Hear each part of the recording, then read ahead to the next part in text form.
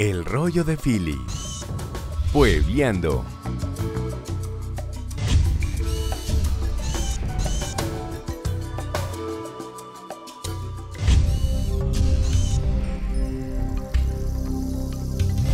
Acabamos de pasar el río Arzobispo, que queda en los cerros orientales por la vía circunvalar. El nuevo destino del rollo de Philly, que es Chuachi, Cundinamarca. Para allá vamos.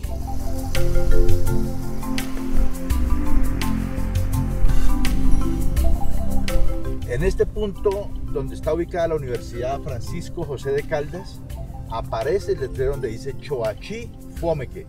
Por ahí nos desviamos a nuestro nuevo destino, que está a 40 kilómetros y además muy cerca, si se va rápido, antes de una hora está, es muy chévere.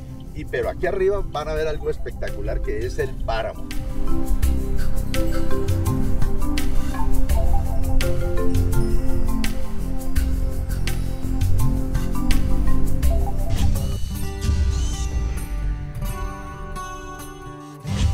Llegamos a Choachí, Cundinamarca, con el rollo de Philly puebleando.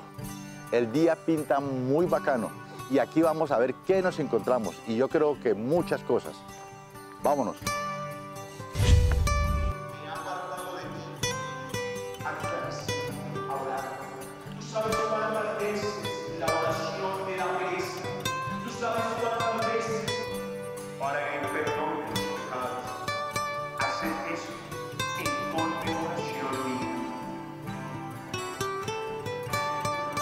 La Morena, imagen milagrosa venerada en la Choachí desde el tiempo inmemoriales.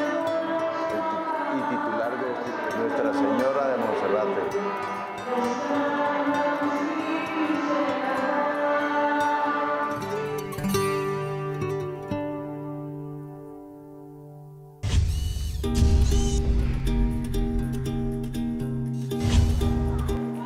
Almacenes de ropa, de todo acá.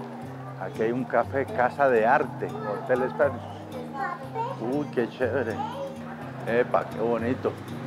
Mercedes, buenos días, ¿cómo me le va? Casa del Arte. Mucho ¿Cómo gusto, está? ¿cómo está? Bien, artesanías elaboradas con amero de maíz. Me gustó bastante la cuestión del amero. En Choachí se hace productos en hojas de maíz hace más de 40 años. ¿Cuántos productos son los que se...? Nosotros estamos fabricando 24 productos diferentes eh, hechos acá en Choachí a base de hoja de maíz. Sí. Em, como tal lo fabrican abuelos del Sí. municipio, estudiantes de las universidades de acá. ¿Y aquí qué productos tenemos? Aquí hay... Dentro de los 24 productos tenemos globos, Está espectacular. imágenes religiosas, tenemos eh, figuras, tenemos flores, tenemos accesorios, pesebres, eh, cofres, un tema muy diferente, eh, darle vida a un objeto que eh, sea útil, ¿no? Claro. Como lo es una lámpara y sobre todo la belleza que pues, puede producir la, la misma hoja. Qué belleza. Es que este- no hay límites realmente. Para Sí, nada. La imaginación no, La- no tiene no, límites, pero para sobre nada. todo la recursividad, ¿no? Sí. Aprender a utilizar lo que otros desechan para poder hacer una obra memorable. Oiga, pero muy bien pulido, El bien proceso trabajado. Como tal, es un proceso de tintura. Nosotros cogemos el material, lo cocinamos con azufre y le hacemos un proceso textil, se le da color cocinándolo, no es pintado, No es sino pintado. cocido. Cocido. Por eso los colores se ven tan intensos. Esto es tipo exportación.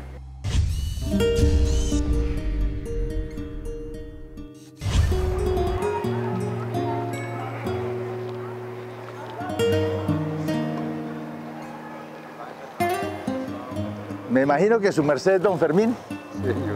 ¿Cómo está don Fermín? Bien, sí, señor. ¿Cómo ha estado? ¿Bien? ¿Hay alguna comunidad religiosa que, que- que- que se plasmó acá y Sí, hace se fundó? tiempo. Sí, hace tiempo esa comunidad que es, es la comunidad mm, San Luis María de Monfort, los monfortianos. Ah, lo mejor. Monfortianos. Y cuando yo llegué acá ya estaba, uf, debe llevar aquí más o menos un- casi unos 100 años ya. Claro, así de casi fácil. unos 100 años, sí. Las construcciones donde ellos que, que fue el seminario como tal, que en la parte, parte sur de acá. ¿Sabe qué me ha gustado a mí este recorrido por Choachí? Ver tantas, tan cerca de Bogotá y tiene las cascadas que me parecen muy lindo. eso. Sí, la naturaleza. La naturaleza aquí, natural mucha agua en aquí, Choachí, la mucha agua. sí. Afortunadamente, afortunadamente que toda esta región es muy bendecida. Muy bendecida. Muy Ahora bendecida. los termales, Sí, eso me parece lindísimo. esa- esa- magnífico. ¿Y sabe otra con- cosa me ha gustado aquí también de Choachí? La gente es muy, muy formal. Sí, Uno pregunta y le dicen allí, para todos lados, es muy querida. Hay otra cosa que me parece que me dicen que es que es muy rico sobre el piquete chihuano. sí, ¿Y por qué será? ¿Por qué le dicen chihuano? por el gentilicio. Ah, Es el Sí, gentilicio, el ¿no? gentilicio de Chuachi, de Chihuahua. ¿Cómo le parece? Don Fermín, me voy a ir a buscar ese piquete. A ver cómo es que lo preparan y aprender, porque uno tiene esto, siempre uno aprende. Y que la gente que ve el programa eh, diga, vea, el día que yo vaya a Choachí voy por el piquete, los amasijos. Hay muchas cosas para ver.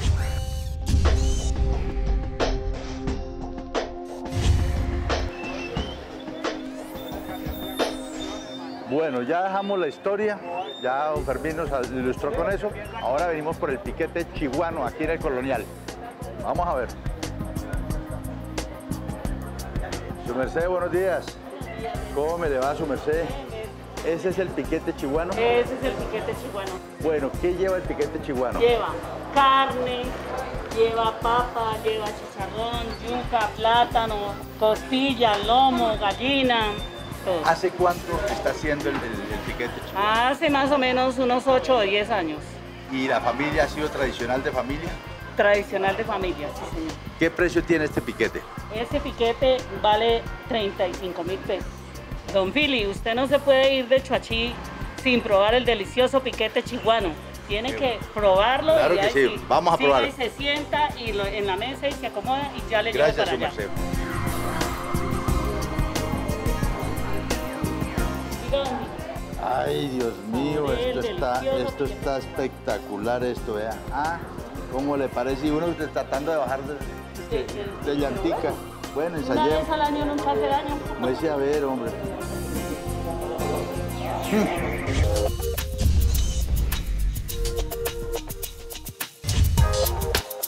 Otro de los atractivos que tiene Choachí es una granja que se llama Derraca Mandaca, me he hecho con todas las de la ley. Es una granja que tienen aves de todo. Vamos a ver de qué se trata. Y vamos a encontrarnos con don Ricardo, que es el propietario de esta granja. Ricardo, ¿cómo me le va? ¿Cómo está, mi hermanito? ¿Cómo estamos? ¿Bien? Por tenerlo por acá, pues Qué bueno. Venimos a ver de qué se trata. Bueno, ¿cuál es la diferencia de esta granja con el resto del país? Lo caracteriza muchas eh, temáticas que tenemos en la finca, por ejemplo, como, como todo lo que tiene que ver con la transformación de energías. Vea esto. Vea, este es el, el- el- el estanque de las truchas, Qué bueno. eh, es donde, donde nosotros tenemos, utilizamos el potencial agua. ¿Qué tanta estucha puede estar en este lago? En este lago eh, tenemos alrededor de, de 1.500 truchas. Pero veo que son grises. ¿A esta trucha? La trucha, no, la trucha arcoíris se, caracteriza porque en el, en el, en el abdomen, en el dorso, la, Sí. está el arco iris. Entonces se alcanza a observar. Ah, sí, señor. Se le alcanza a ver como unos colores, Sí. por eso le llamamos trucha arcoíris. Le tengo una solución para que saque abdominales y baje la barriga. don. ¿En serio? ¿Se nota, se, sí. se nota mucho? Ay, güey, máquina. Démosla acá. Este es un sistema que les enseñamos a otros visitantes cómo podemos utilizar el, Y si, agua- si, energía, si se ¿cómo aguanta... va a caer? la energía de, de- de su cuerpo para producir energía. Entonces, si usted pedalea, tiene que pedalear más fuerte, más fuerte. Allá, ya, ya, alumbró. Entonces, lo que estamos haciendo acá es Y ya, bajar barriga. con la fuerza podemos producir energía, ¿sí? Yo creo que lo mejor es que les hagan a una veladora o con una lámpara, porque esto es bien jodido. Bueno, Fili, otro, otra característica importante de la finca de la granja es cómo podemos utilizar el recurso natural Sí. para producir energía. ¿Cómo funciona? Se conecta acá la manguera, muy bien. Aquí obtenemos Ah, qué maravilla. un dínamo. Sí, Ustedes alcanzan a observar ya está alumbrando. Comenzamos a producir energía. Bueno, en este momento se tapó un poquito acá, pero bueno, ahí está produciendo energía. Y en las horas de la tarde los insectos llegan alrededor de, de esta luz. Para que las truchas se coman Y el los insecto. insectos llegan alrededor, totalmente alrededor. Bueno, ¿y aquí qué tenemos? Bueno, Fili, acá tenemos eh, todo lo que es agricultura orgánica. Aquí no utilizamos aquí nada, de- nada de químicos. Nada. Todo lo que utilizamos son eh, eh, cosas producidas en la misma finca para hacer los repelentes. Bueno, ¿qué productos tenemos acá? Cebollas cabezonas, cebollas puerro, cebolla común, brócolis, coliflores, zanahorias, ¿Estos productos los vende o qué hace con estos productos? Lo que nosotros producimos en la finca es lo que ofrecemos en el restaurante. Tenemos varios visitantes que vienen a llevar sus canastas. ¿no? Bueno, ¿y aquí qué vamos a hacer? Bueno, Fili, aquí le voy a enseñar, le voy a mostrar cómo podemos eh, transformar los estiércoles en combustión. A través de, de una fermentación anaeróbica que sucede en ese biodigestor, en ese espacio, se puede producir energía. ¿Cómo le parece? Excelente. sí. Vea qué belleza. ¿eh?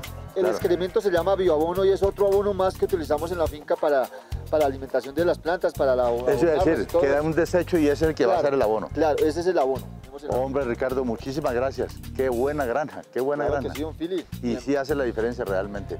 Claro que sí. Muchísimas gracias, Dios. El recorrido por Choachí estuvo hoy espectacular, pero mañana es un día especial.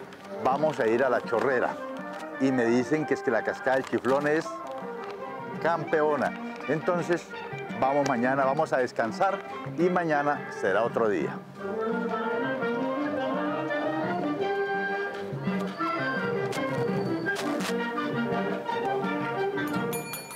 Su merced, buenas noches, ¿cómo me le va? Buenas noches, bienvenido al Hotel Luna Nueva. Filiberto Pinzón, por acá tengo una reserva.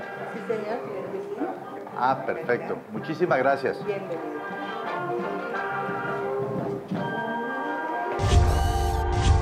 Ya regresamos